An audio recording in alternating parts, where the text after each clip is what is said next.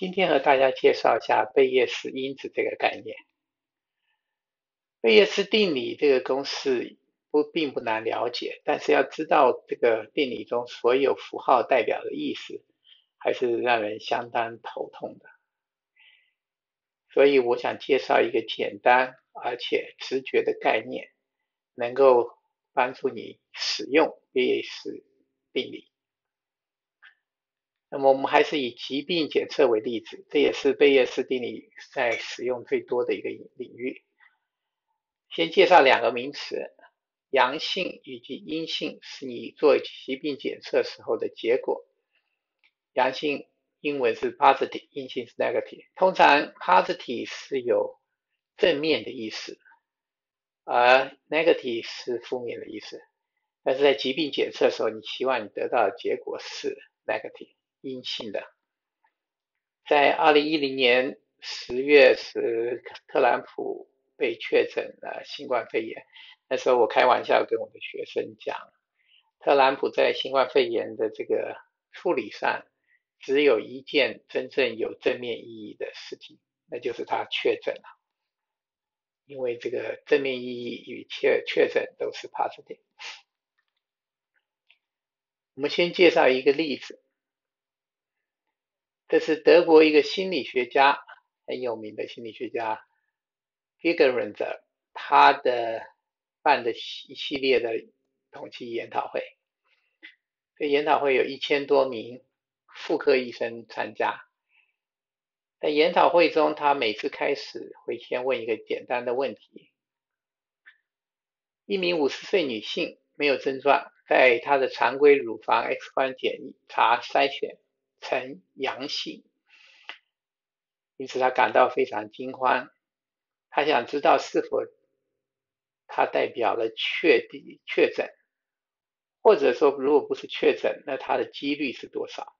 患乳腺癌的几率是多少？假使你除了筛选结果，你对这个女人一一无所知，那么你认为她患疾病的几率是？以下四个里面最接近哪一个答案？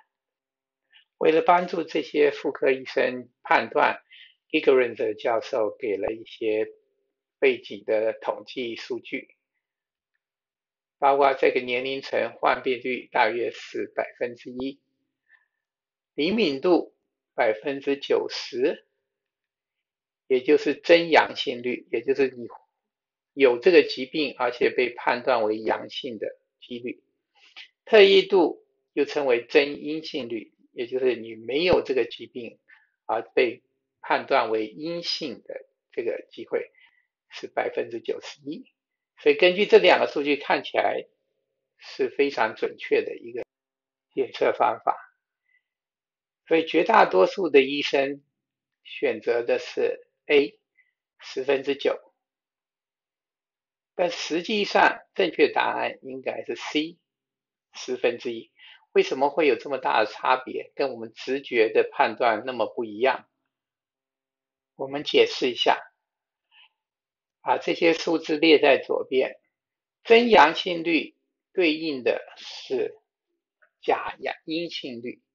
也就是说，如果有这个疾病，但是却被检测为阴性，所以是一个假阴性。是百分之十，真阳性加假阴性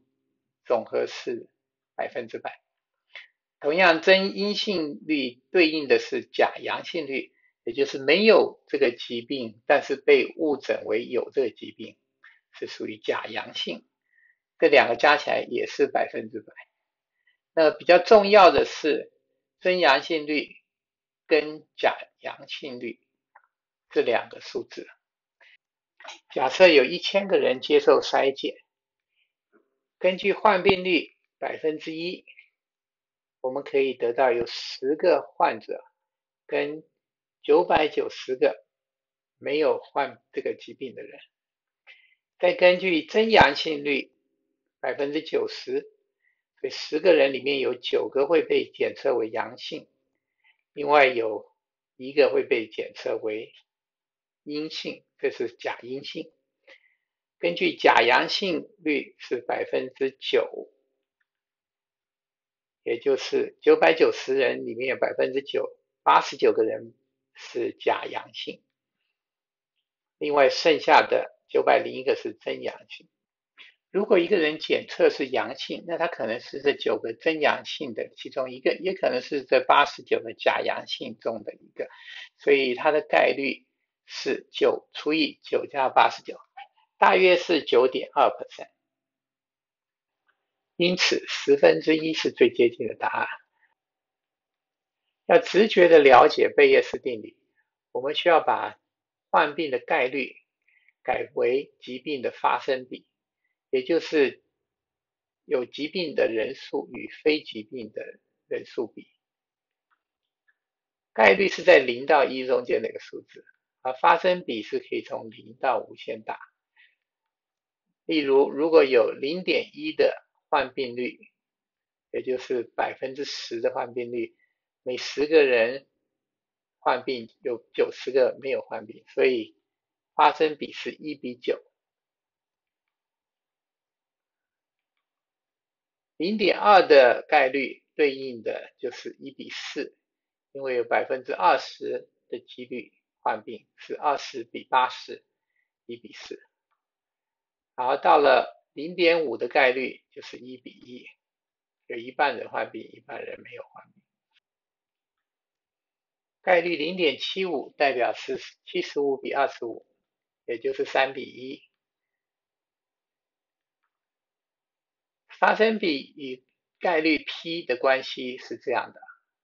我们再试一些其他的例子，百分之一代表一比九十九，百分之四十是四十比六十，也就是二比三，百分之六十则是三比二，百分之九十九代表九十九比一。用发生比去了解贝叶斯定理就会简单很多。我们再看一下刚才的例子。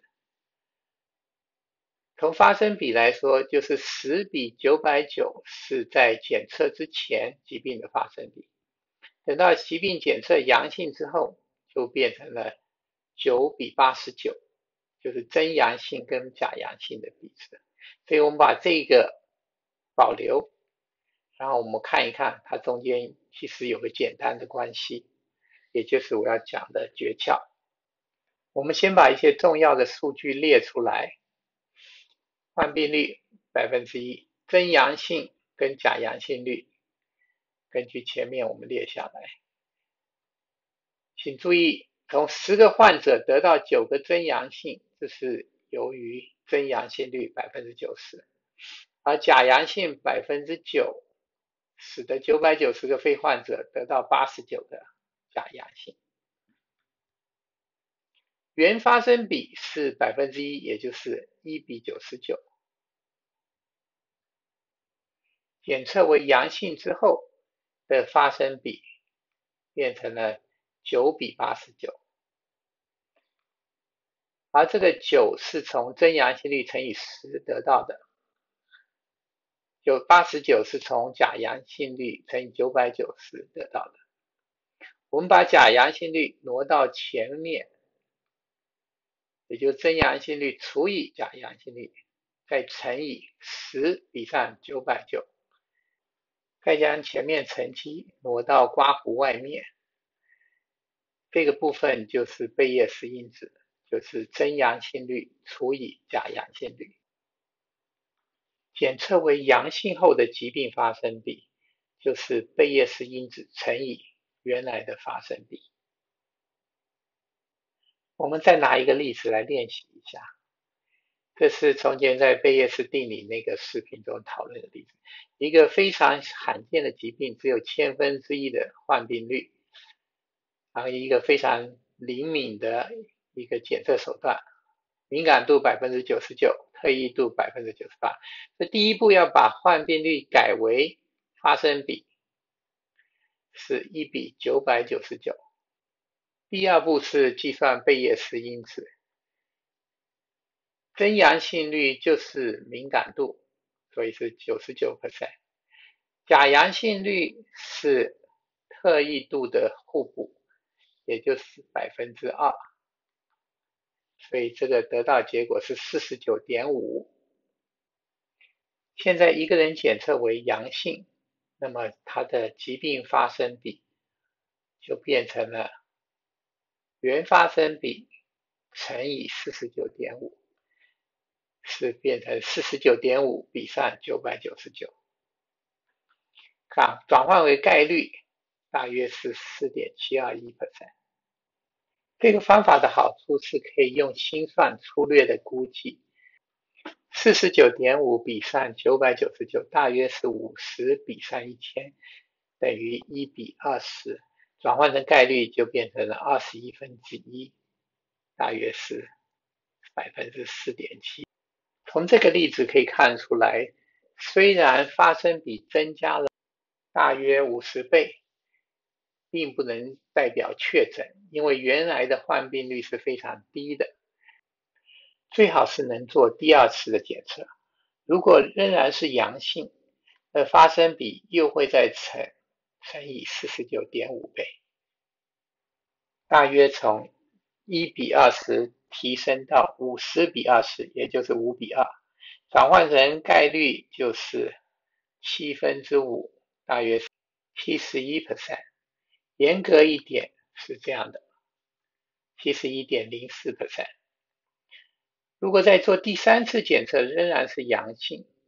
发生比又会增加了四十九点五倍，变成四十九点五的三次方比上九百九十九，转换成概率是九十九点一八 percent，也就是基本上可以确诊了。希望各位能够熟练这套比较直觉的逻辑，不管是作为一个医生跟你的病人解释他检测的结果，或者是从患者的角度了解自己患病的几率，我想都是有帮助的。好了，今天的介绍就到这。